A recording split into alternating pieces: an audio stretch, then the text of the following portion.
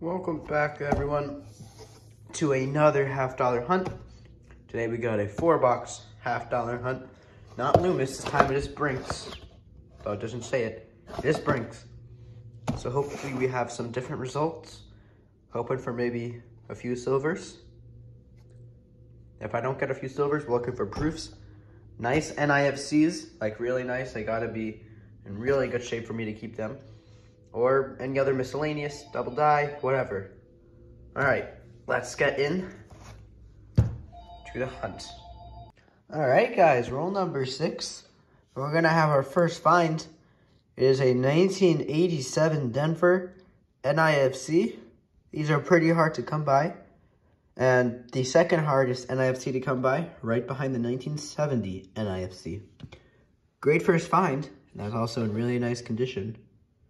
Um, so hopefully that's a good sign for the rest of the box. We were on roll number 30, and I just put a 19, uh, I just flipped a 1982 over. Not in good shape, but we're checking for that no FG to make sure there's no FG there. And uh, on a regular coin, let me just find a, not one. Here. There is the FG, very clear, loud and proud. But on a 1982, not there. So that is a 1982, no FG. Pretty cool. Hopefully we can get another error, maybe a silver on the box. But if not, we had three more boxes or something.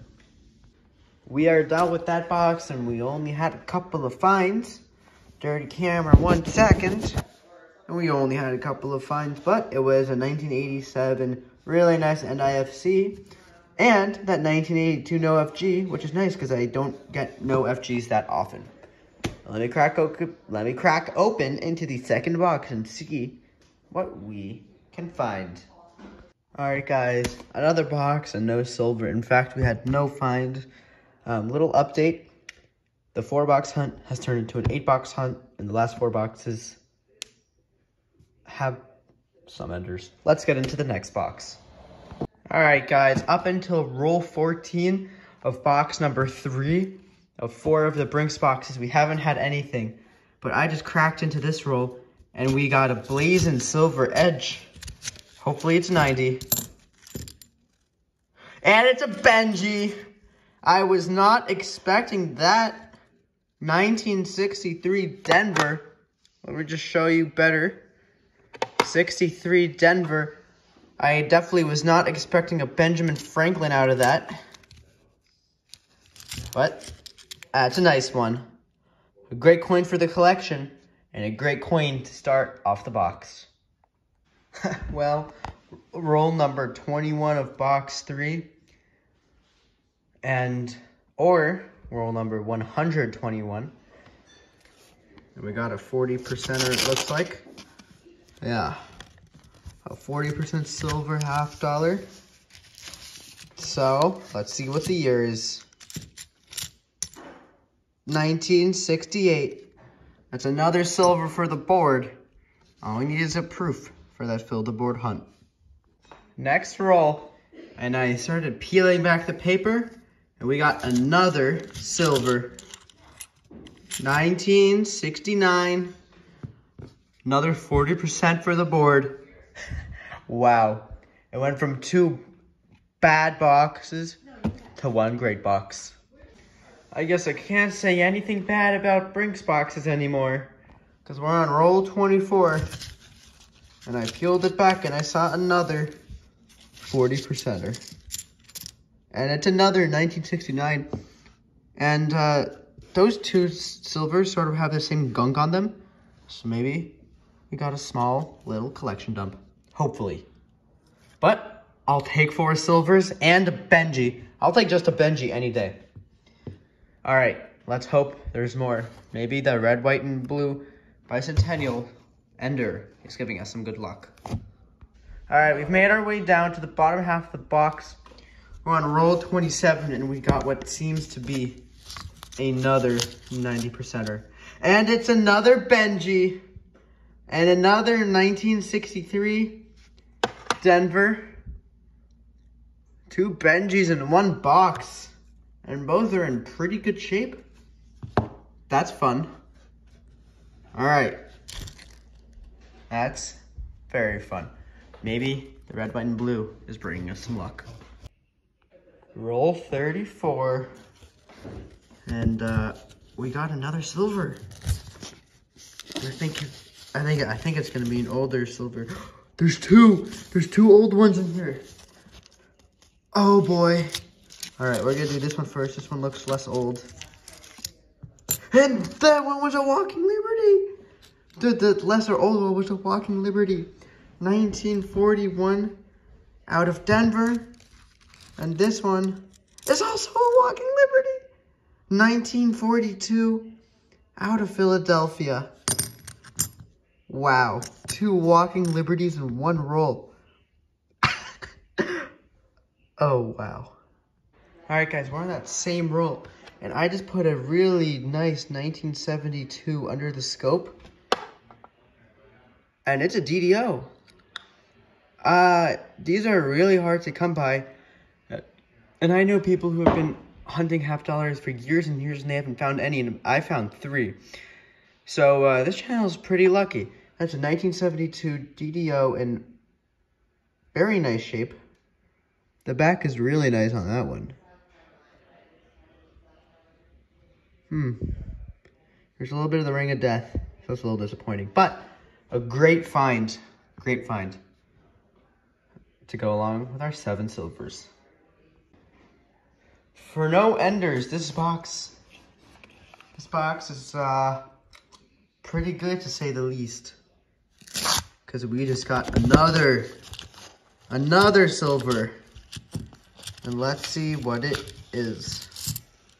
And it is another, not only is it another 90%, but it is another Benjamin Franklin. 1962 Denver. This is really fun. And I mean, I didn't think I was gonna have any silver in these in this batch. But that just goes to show you that coin roll hunting is a game of persistence. Just a few rolls later, we got a foreign coin this is a Republic, uh, Republica de Panama commemorative, or maybe just a new design. Uh, Banco Nacional de Panama, so National Bank of Panama, um, from 2009. So pretty cool, miscellaneous find. Roll 44, we got another 90. This is a great box. Definitely one of the better ones I've had in a while. oh my god. Every time I just not expecting another Benji. 1963 Denver again. That is the fourth Benji of the box. And the ninth silver. Wow. I, I'm, I'm at a loss for words for what this box and what this pickup has become. Super excited. A little bit in shock. We got another box after this and seven rolls. So hopefully, and I'm very thankful for the silver I got, but hopefully we can get at least one or two more. Well, we are on the last roll of the box. And we have another 1987 Denver NIFC half dollar. That was also a find in the first box but I haven't found any since until now. There's nothing else in this roll, so I'm gonna go ahead. Sorry about that. I'm gonna go ahead and wrap this up right now. This box was amazing. We had nine silvers total and 11 total finds, or 12 total finds. Two walkers, four Benjis, three 40s, and then three miscellaneous, one being that 1972 DDO, that foreign coin in the 1987 NIFC. Yes, it's an NIFC and a miscellaneous. Great box. Now let's get on to the last Brinks box. The last box of the hunt. I know I said earlier, you know what? I'm going to do all eight boxes this hunt. Um, so let's get on to the last Brinks box, and then I'll start with the Loomis boxes. Well, well, well roll number three, and I think we got ourselves a silver. Let's see if there's anything else in this roll. Which there isn't. So it'd be a dirty clad. But it's a 1965. So it is just a clad, but it is silver clad. 40% or 40% silver and 60% copper. Really nice shape, really nice luster. I like that toning on the back. I don't know about you guys, but that's a beautiful coin. Third roll. Woo!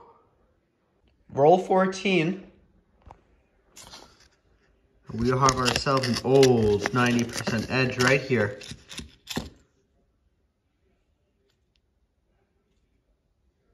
Huh? 1972?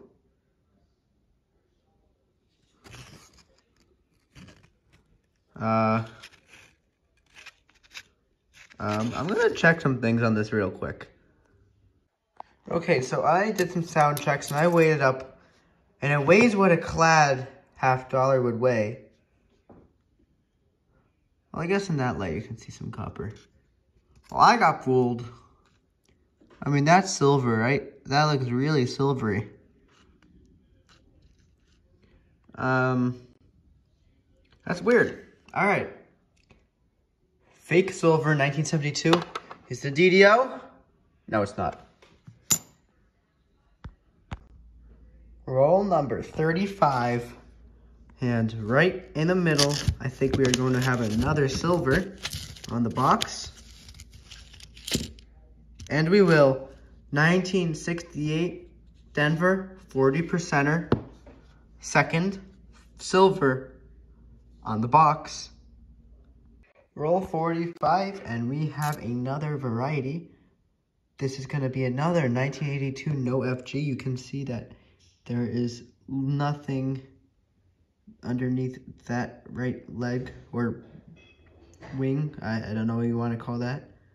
Um, there will be an FG there. On this one, you can see it very clearly that there is an FG. Stand is the initials of the designer of the coin. And then there, there is not. It's also a pretty fairly nice coin. Maybe it's cleaned, but I think those are just die polish marks. Um, the front is a little bit circulated, but it's pretty nice overall. Cool find. I don't find a lot of no FGs, so I'll take it. Alright guys, we're done with that last Brinks box. And we had two 40 percenters, so definitely not a bad box in the least. But now, let's get on to the Loomis boxes. Box number five is done, and we had no finds. Let's get on to the next box. Alright guys, we are on roll 26 and we have that proof, a proof ender, one of the two in the two boxes. I'm going to try and open it up with one hand, but this is no easy feat because this paper is very hard to open. So, it might take a couple of tries or it'll go easy. See if there's anything else in this roll. Okay, that's not gonna be easy. Let me just get to the proof ender first. All right. Not a silver proof, but it is a 1993 proof. And I don't think there's gonna be another proof in this roll. Maybe this coin? No, just a nice bicentennial. We're done with that box. And we just had that proof. It also had a really nice toner um, it's hard to see on camera, but in hand it's really nice. There's some rainbow toning up there. And I really like that. And I typically sell these coins um, or just keep them in my collection. Back isn't as nice. Um, but still a nice coin that I like and will keep or sell depending on how I feel. Let's move on to Loomis box number two and box number seven of the hunt. Roll 29 of box three out of four. And I just peeled the roll back and we have 40% silver. Let's see if there's anything on this side and there is not. This silver is a 1968 Denver. Pretty nice condition. It looks like the other 68 that we found. Same color, same condition. But it is a 40 percenter, and I'll take silver any day. First find of the box is a silver. Let's go. Roll 47, 46, excuse me, of box uh, 6 out of 7. I believe I said 3 out of 4 last time. I meant 3 out of 4 Loomis boxes and 7 out of 8 boxes in total. We're going to have a proof ender. So, let's try and crack into this roll. The paper has not been easy to, to peel, but hopefully it'll go easy on us for just this one roll, which does not seem to be.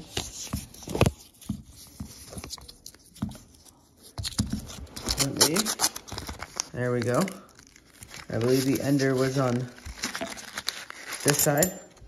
It'll be a 2007 silver, or sorry, proof, not a silver proof. Cool find to go along with our silver, which I do not have because I am not in the same place. We're done with that box. Let's move on to the third and final box, which does have a silver ender, I believe. Um, when we get to it and when we come across it, I will bring you guys in for it. Roll 14 of box 8, and we have a magic coin. Um, and this one has two heads. Heads you win, tails you lose. So we've arrived on that silver ender, and I may or may not have accidentally uh, dropped the roll. But we can see from the top that it is a 1966, 40% silver, half dollar. First silver on the box. Let's go. And hopefully we can get some more silver before the end of the hunt. Roll number 27. And we got another proof. It's in pretty bad shape. But if you look at the mint mark, it is indeed an S. That is a 1982 proof half dollar.